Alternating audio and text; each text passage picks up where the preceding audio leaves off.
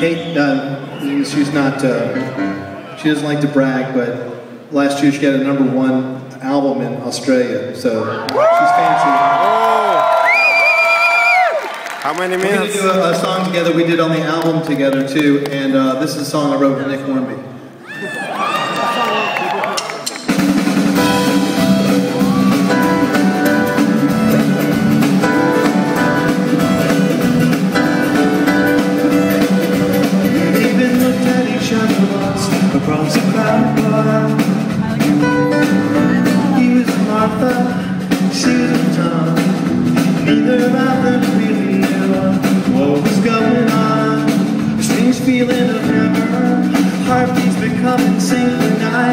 staying that way forever. But most of the time, it was just near misses.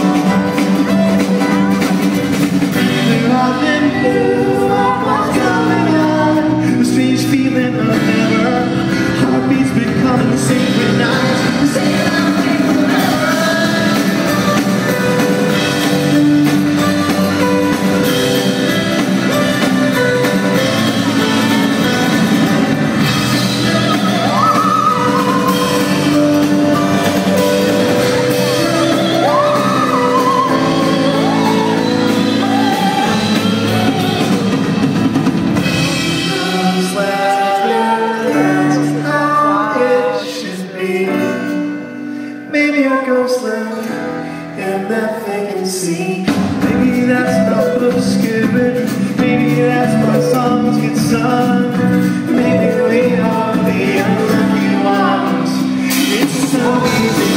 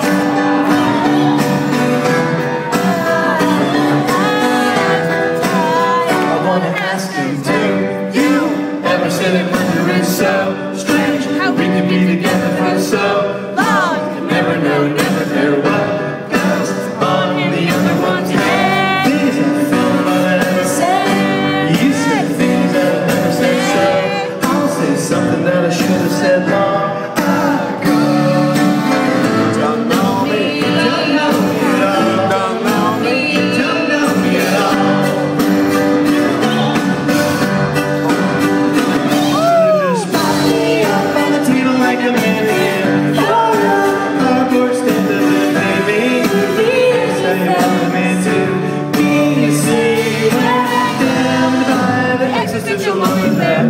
We